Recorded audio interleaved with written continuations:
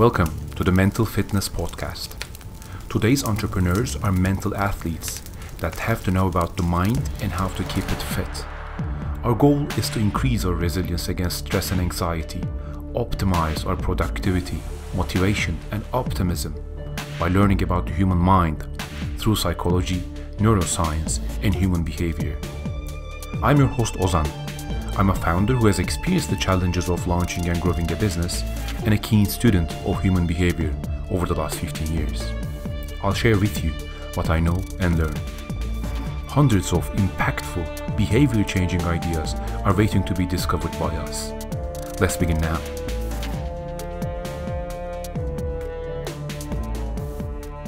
In our tour of the gym for the mind, we've so far looked at learning and memory and compared that to a cardio training. Then we looked at emotion and perception and compared, likened that to core and balance training.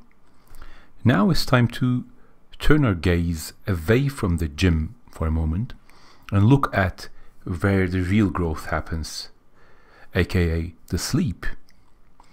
So I'll share with you some key lessons to come out of Matthew Walker's seminal work, uh, Why We Sleep. It, it was a fantastic book. I, I read it like six months ago, and a lot of lessons stuck with me from that.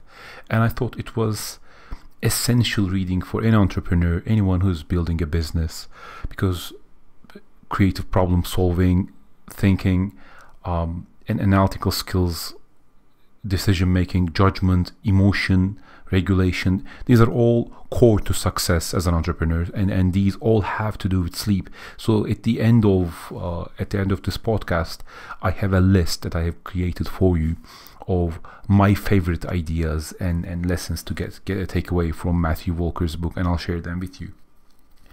Before we go into that, let's take a step back and try to understand how sleep works and then the similarities of uh, mental and physical growth. So imagine the fact that your muscles are growing when, when you start a routine type of exercise. The interesting thing is, uh, your muscles do not actually grow while you're weighting lifts or going for a run. The exercise itself is actually only the stimulant, it is the beginning of the anabolic process uh, that is necessary for growth. Um, it is essentially a signal uh, to the muscle that it needs to grow.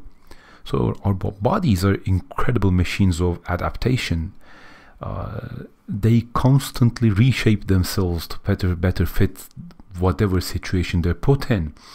That reshaping or, or, or, or that growth takes place during primarily in sleep.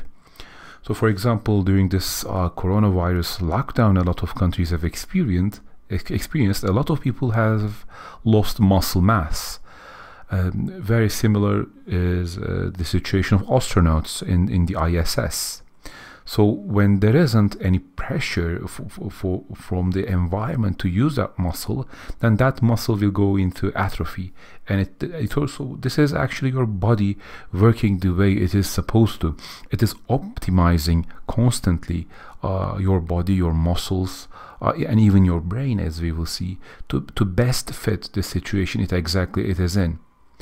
So the, the, the funny thing here, and I think there's a key lesson here, while we cannot as individuals wish our muscles into growing, we can place ourselves in the situations that require that. So we can we can create the situations that signal to the muscles that the growth is needed there and your body will do the rest in sleep. During sleep, the body produces the HGH, human growth hormone, and especially in the N3 stage of the NREM, the non rapid eye movement stage of sleep, blood flow to your muscles increase and tissue growth and repair occurs. So, we've talked about the physical growth up until now, but it is more or less the same when it comes to how the brain grows.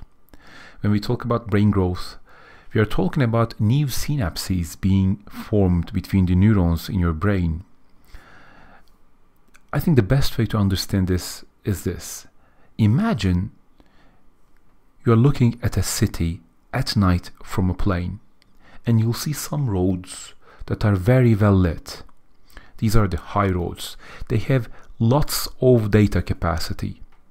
You'll also see some branches, some side roads that are less visible, but they're still noticeable. And then you'll see a few specs and these are individual vehicles, cars, whatever. Uh, so these are not high roads, these are not busy roads, but there is still some activity there. So this is what actually a, a, mapping and imaging of the brain looks like. Every connection between each neuron is actually a road. So the, a core principle that is that is important to understand here, and it is one of the like brain science 101 type of uh, knowledge. Neurons that fire together wire together.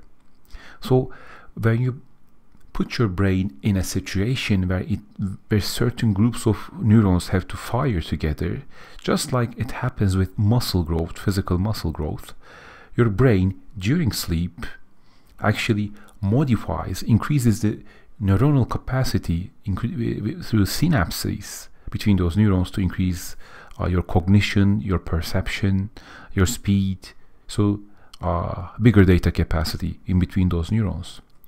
So it's essentially the same mechanism. Uh, you create the conditions that demand a certain type of growth, and the body accommodates that during sleep. A key idea here is that not enough rest and recovery with too much exercise would result in injury if you were talking about the physical situation. Now it is very much similar. So talking about burnout in business is it is essentially exactly the same. Not enough rest, not enough recovery, but constant exertion of effort. It's, it's gonna it's gonna end end with burnout. Um, I think a key way to overcome that is motivating yourself with the right type of rewards. And it depends on the type of individual individual you are really. So a guilty pleasure of mine is actually enjoying cigars and it, they actually motivate me incredibly well uh, when i'm doing something that's quite difficult to get through. I'm also um, a gamer in a way so i like multiplayer games. And again those are my rewards uh, at, at difficult times when i'm finding it really difficult to motivate myself Another aspect of that is giving yourself the right types of breaks. So work hard, play hard, and rest hard, uh, essentially. Give yourself the right types of breaks during the day, during the week, and during the month. My personal ritual is not work through the weekends and, and try to protect that sacred um, time period for myself as much as I can. And this, this was not always the case. Uh, having um, having a lot of ambitions and and trying trying wanting to create a lot of uh, stuff. Uh, I, I found myself working through the weekends in, in a lot of circum in, in, in at different times if, uh, at different periods in my life. Uh, but at least for me, it, it, the end result was that in exchange for a short burst in increased activity, I would be sacrificing a longer term performance. And at the end of the day, when I looked at that uh, result, it, I was not winning. I, was actually creating less work than I would. So that's why I don't uh, work uh, during the weekends as a protected zone for me. I, I know how important that rest is to me for my productivity during the week time. So get to your nurse, get to know yourself, and give yourself these breaks. Um, so Matthew Walker's why we sleep and, and the key lessons uh, from there. First of all, I'd like to mention why this book was really important for me.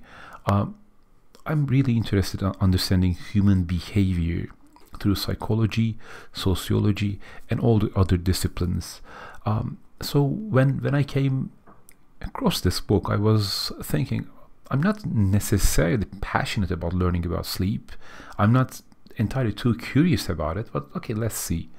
But it turns out sleep is about everything else other than sleep itself. So sleep is about learning, sleep is about cognition, sleep is about problem solving, sleep is about maturity uh, and emotional stability. Sleep is about physical growth. It, it is actually about living longer. So it's, it's this incredible uh, 50% of our lives that we do not necessarily understand, uh, but we we do that anyways because we have to.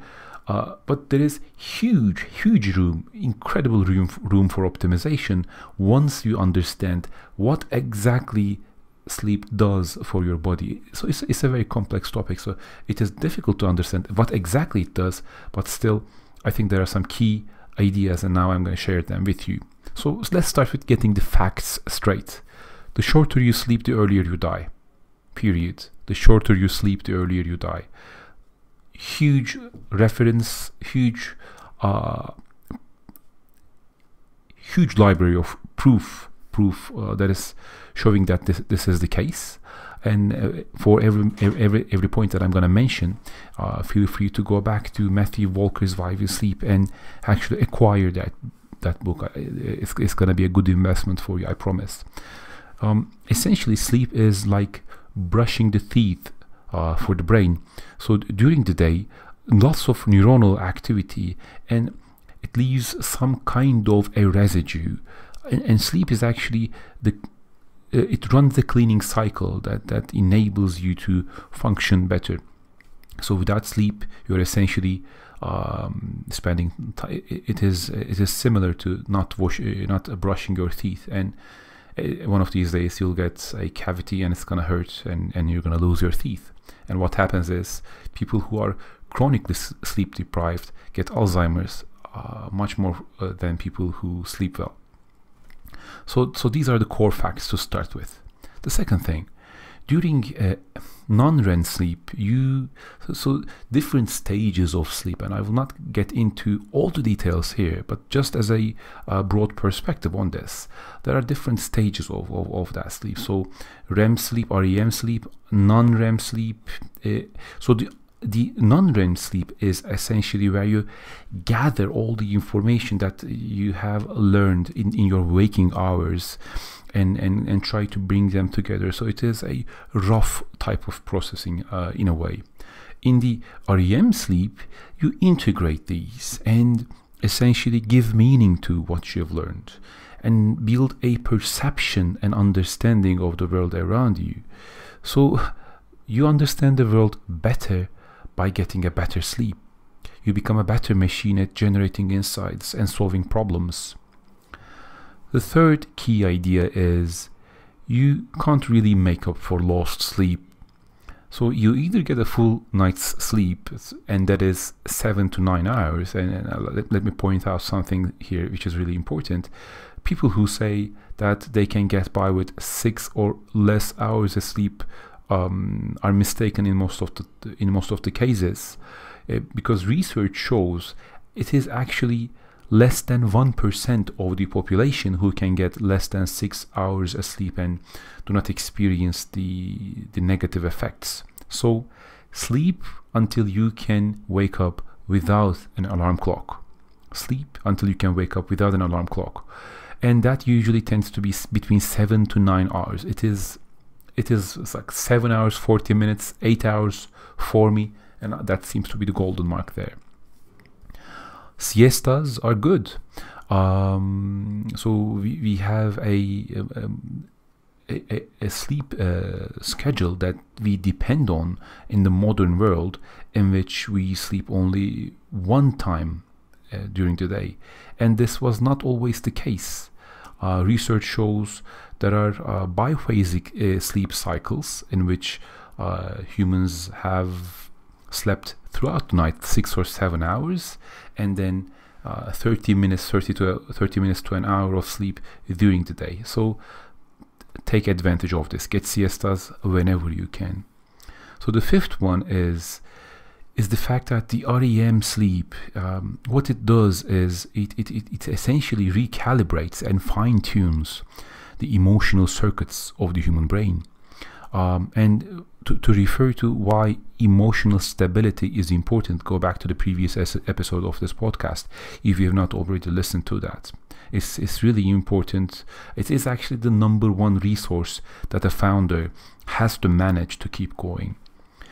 Um, the sixth one, the sixth idea is Lack of sleep means a heavy, a very heavy hit on your concentration, creativity, problem solving, and decision making. Um, research shows approximately be, uh, being two hours sleep deprived means an approximate 30% decrease in all of these. So imagine you work for 8 to 10 hours a day. Uh, a 20% decrease if you worked 8 hours a day would be almost 2 hours, 1.6 hours to be exact, of time lost being unproductive.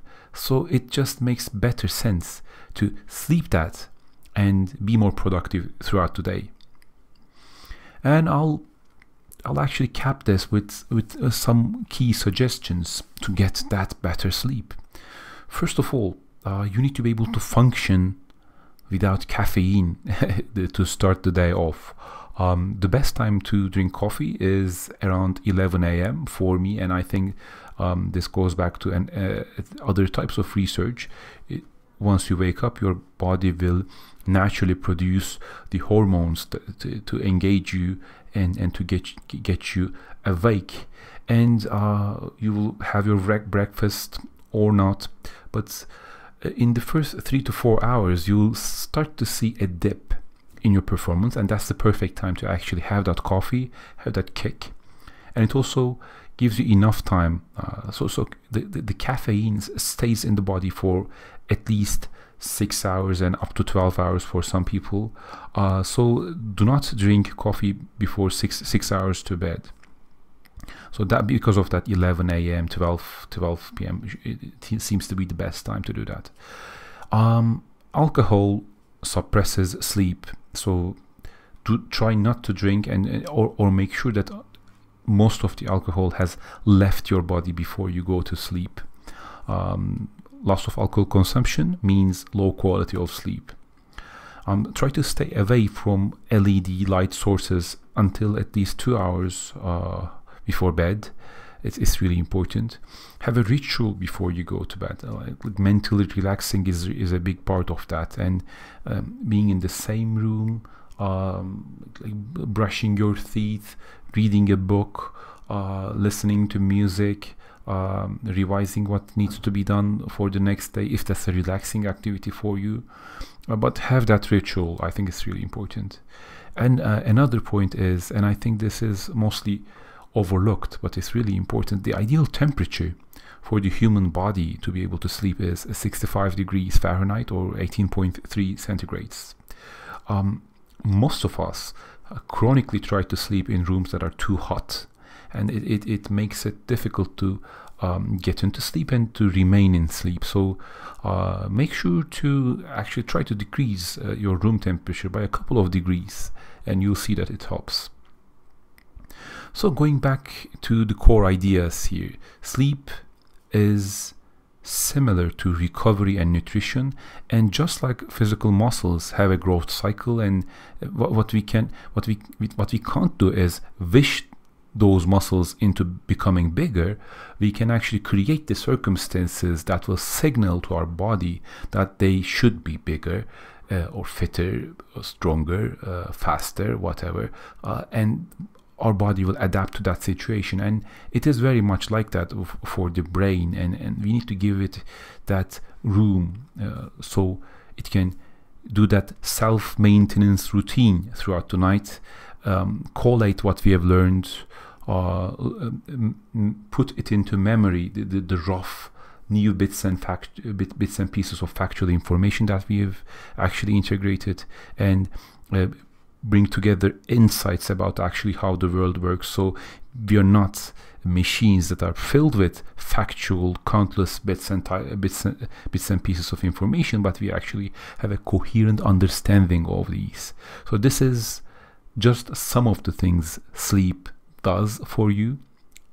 I hope this episode has been a useful reminder and the importance of sleep, especially for entrepreneurs, creative people, people who are doing mentally challenging, problem solving tasks.